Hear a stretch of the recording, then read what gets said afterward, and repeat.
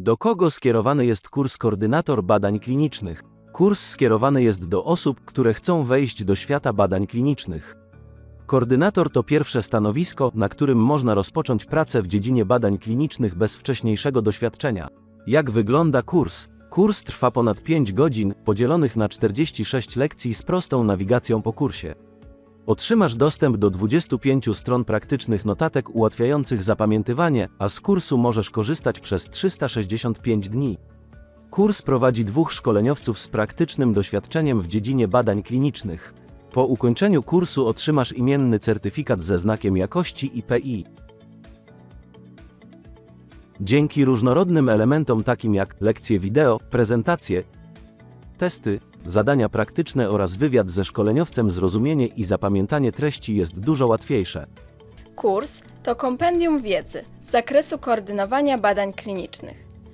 Zawiera moduły poświęcone wiedzy teoretycznej, która jest niezbędna do zapoznania się z zasadami funkcjonowania ośrodka. Kurs jest nastawiony na praktyczny aspekt pracy koordynatora. Zawiera szereg przydatnych wskazówek i rad dotyczących codziennych obowiązków koordynatora. Jaką wiedzę zdobędzie uczestnik kursu?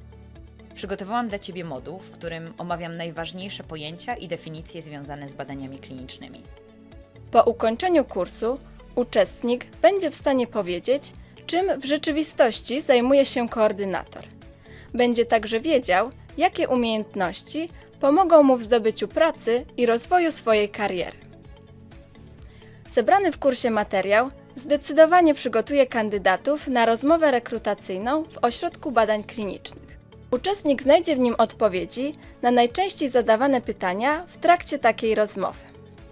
Uczestnik zapozna się także z wymaganymi umiejętnościami oraz dowie się, jakie cechy będą ułatwieniem w pracy koordynatora.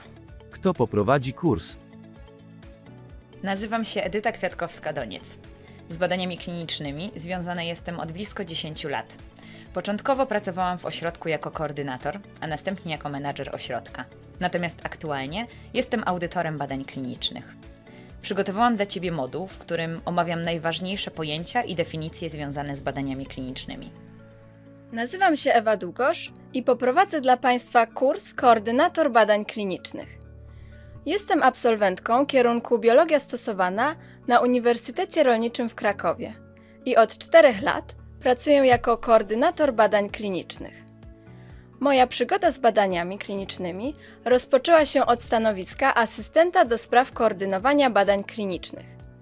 Początkowo do moich obowiązków należało wprowadzanie danych do systemów i wspomaganie doświadczonych koordynatorów w ich codziennych zadaniach.